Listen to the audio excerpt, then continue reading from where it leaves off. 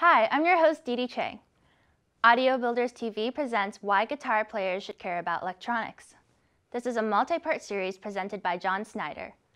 John is a PhD student at Boston University and is the owner and chief engineer of Electronic Audio Experiments, a small batch manufacturer of stomp boxes and tube amps. Audio Builders TV is produced by the students of Concord Carlisle High School with help from Colonial Sound and CCTV.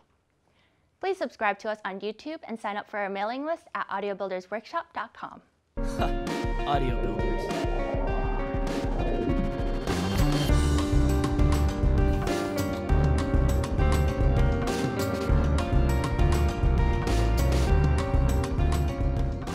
Hi everyone, I'm John Snyder from Electronic Audio Experiments, and uh, I'm going to be talking about the things that make guitar playing more worthwhile from an electronic standpoint.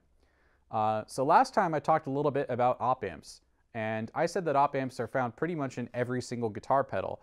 Uh, here is going to be an example of a very classic guitar circuit that uses an op amp in a very important way.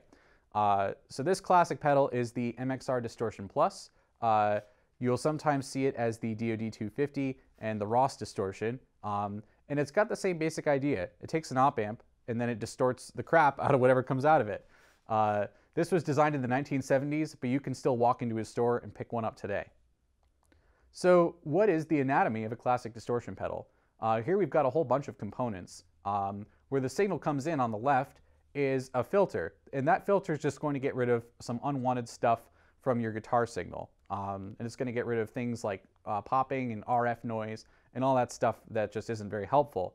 Um, this filter is formed from resistors and capacitors. We haven't talked about capacitors much, uh, but capacitors are essentially a device which has an impedance or resistance which depends on frequency. And so you can make filters out of those to pick and choose what frequencies you want to keep and which ones you want to throw away. Once the signal goes out of the input filter, it goes to an op-amp gain stage. And that op-amp gain stage is doing what we talked about last time, uh, where it takes the input signal and it multiplies it by some factor depending on the resistors that are around the op-amp. In this case, this is a non-inverting amplifier, and the gain is going to be 1 plus uh, the feedback resistor divided by the resistor going to ground, or the shunt resistor. Now we have a gain control at the bottom of the schematic, and that gain control is the shunt resistor. And what's happening is as you, as you turn the knob up, that resistor gets smaller and smaller. So the feedback resistor divided by the shunt resistor, that's going to get bigger and bigger, and that increases your gain. So that op amp, all it's doing is amplifying the signal. Up at the top, we have the power supply. The power supply's job is simple. Take what's coming in, make sure there's no noise, and give the op amp the voltages that it wants to work correctly. Now finally, at the end, we've got something that we haven't seen before. Uh, these are what we call clipping diodes. I'm going to talk about those a little more in the next slide, but that's what gives the distortion its rough, edgy character that we know so well for electric guitar. And then at the very output, you have a volume control, which is a voltage divider, like we talked about before. So now what is a diode? Uh, diodes are the one-way valve of the electronics world. On the left, you can see an example of a glass body diode, and on the right, you can see this arrow-shaped schematic symbol that you see uh, to represent a diode. A diode has what we call an anode and a cathode, a positive and negative terminal. Current can only flow from the anode to the cathode. But the relationship isn't like Ohm's law, where it's just V equals IR and it's a constant. In fact, uh, diodes have a very unique curve, uh, what we call an IV curve. When the voltage is positive, when the anode is at a higher voltage than the cathode, current is going to flow, and then it's just going to keep on trying to flow until there isn't any more. And so essentially it just stops at some voltage. And we call this the forward voltage of the diode. When you try to apply voltage backwards across the diode, nothing happens until you get to a really big voltage, like 50 or so. The forward voltage of the diode is going to depend on what it's made out of. Silicon, germanium, uh, silicon, germanium LEDs are all going to have different forward voltages. So now how do we use these in guitar circuits? Now, if you take just a regular signal, let's say it's a sine wave, it just goes up and down. This is what you can think of as a pure tone.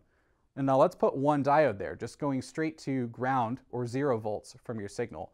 It's going to actually chop off the top of that, and that the voltage is going to be clipped uh, at the point which is the forward voltage of the diode.